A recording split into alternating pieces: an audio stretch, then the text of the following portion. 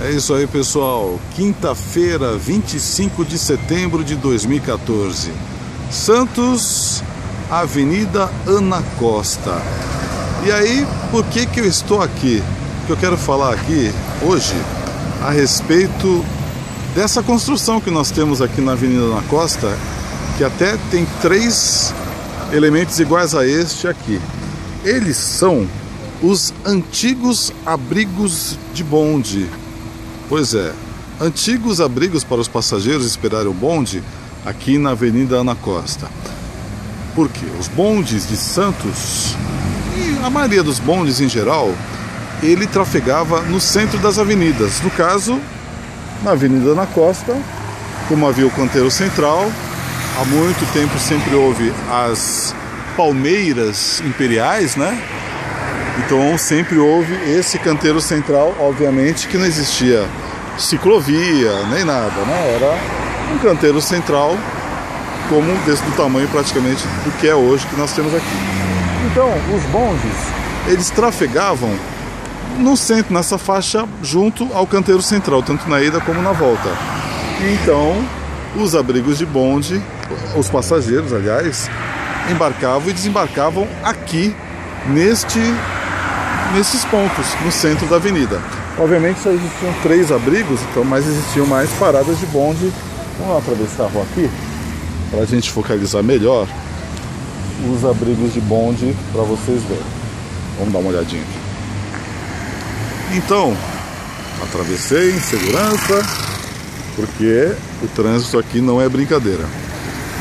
Esses abrigos foram construídos eu não sei a data exata da construção, mas eu sei que eles foram construídos na gestão do prefeito Antônio Feliciano, que aconteceu no final dos anos 50. Agora, o formato deles tem um estilo modernista. Por quê? Vale lembrar que justamente no finalzinho dos anos 50 era estava sendo construída Brasília, que foi inaugurada nos anos em 1960.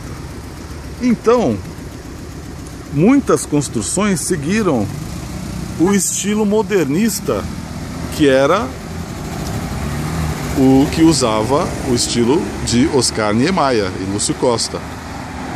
E em Santos parece essas, esse projeto foi feito pelo arquiteto da prefeitura de Santos. Então muitas coisas assim semelhantes é, notem que foi preservada até hoje as pastilhas, as cores amarelo e azul. Nós temos construções parecidas, por exemplo, aqui na Avenida Ana Costa nós temos este aqui, que fica pertinho aqui da rua Júlio Mesquita, certo? Lucas Fortunato, né? É, Júlio Mesquita, acho que é Júlio Mesquita, se não me engano. Eu vou confirmar com você. E temos ali um outro mais adiante que não dá para ver daqui, mas fica lá quase no cruzamento com a avenida com a Rua Carvalho de Mendonça e o terceiro da Avenida Ana Costa ali quase ali no cruzamento com a Avenida Francisco Glicério. Então, o que é interessante frisar é que os bondes saíram de circulação em 1971 aqui em Santos. Né? O sistema comercial de bondes terminou em 1971, mas foram preservados esses abrigos de bonde. Assim como também uma construção parecida que vocês podem observar é lá no Boqueirão a fonte de Vicente de Carvalho que fica ali em frente à Avenida Ana Costa. Também a construção é bem parecida com a desses abrigos, inclusive utilizando-se as pastilhas. Então os bondes circularam muito tempo pela Avenida na Costa. Os bondes elétricos, por exemplo, começaram a primeira linha de bonde elétrica de Santos foi justamente passou por aqui, que era a linha 2 em 1909. E os abrigos de bonde começaram, esses aqui no caso, surgiram somente em 1958, 59 e nunca foram demolidos porque é uma maneira até de contar para as próximas gerações que um dia houve bondes e os bondes eram absolutos nas, nas ruas de Santos, porque as pessoas não tinham carro, a passagem do bonde era mais barata que a dos ônibus, porque eram bondes elétricos. Então ficou essa marca permanente aqui na cidade de Santos os abrigos de bonde. Então muita gente passa por aqui e deve pensar, mas o que, é isso aqui, né? Para que, que serve isso? Por quê? Porque no centro da avenida é para ônibus, mas no centro da avenida não. Então era para os bondes, porque os bondes circulavam exatamente nesta faixa aqui da avenida. E durante décadas, décadas não digo, mas durante muitos anos, os trilhos de bondes permaneceram aqui na Avenida Ana Costa durante muito tempo. Então as pessoas lembravam. Agora hoje não temos mais o bonde comercial, mas lá no centro da cidade nós temos os bondes turísticos. E hoje a cidade de Santos conta, vou mostrar para vocês agora, o trólebus, o ônibus elétrico, que justamente circula aqui na Avenida da Costa. É uma linha só de trólebus em Santos, com seis veículos, e justamente circulam aqui na Avenida na Costa, que é a linha 20. Ou seja, Santos preserva ainda o sistema de ônibus elétricos que muitas cidades deixaram para trás. Você só encontra trólebus aqui em Santos, em São Paulo e também na região do Santo André, São Bernardo e Diadema. Então na capital paulista são mais de 200 trólebus, na cidade de Santos são apenas seis veículos, mas estão firmes e fortes. Então nós vemos aqui a fiação dos trólebus em Santos. Então, contando um pouquinho da história, os abrigos de bondes, né? Olha as pastilhas. É, não sei se, com certeza não são originais, devem ter sido substituídas em, durante bastante tempo, vezes, né?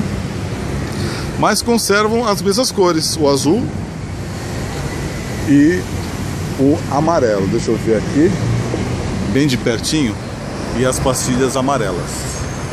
É isso aí, pessoal. Contando um pouquinho da história e para finalizar, vou contar para vocês, mostrar para vocês.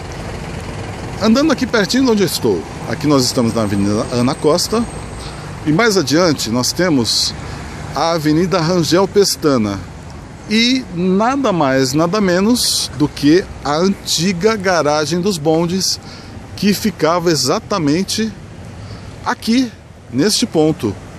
Isso já falando ainda já dos bondes puxados a burro, ou seja, antes de 1909. No finalzinho, no final do século é, 19, por volta de 1870, 71, eu não sei exatamente se os bondes puxados a burros começavam ficavam aqui, mas os bondes é, puxados a burro em Santos começaram em 1871.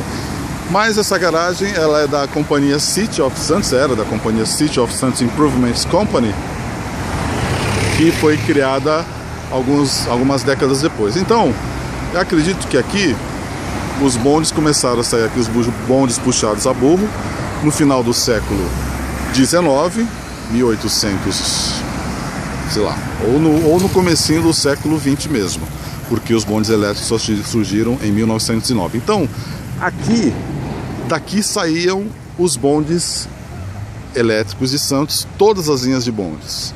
E seguiam algumas pra, em direção aos bairros, pra, naquela direção. Ou aqui esse ponto é estratégico, porque veja bem, os bondes poderiam entrar aqui na Ana Costa, seguir ali pela Rangel Pestana, ou então entrar aqui no canal 1, que é a Avenida Pinheiro Machado. E isso vale uma outra história para um próximo vídeo. Mas aqui foi onde hoje é a CET de Campos, é a garagem da antiga City of Santos Improvements Company, que depois, que era uma empresa inglesa, depois é, uma outra, um outro grupo canadense adquiriu, então virou uma empresa canadense.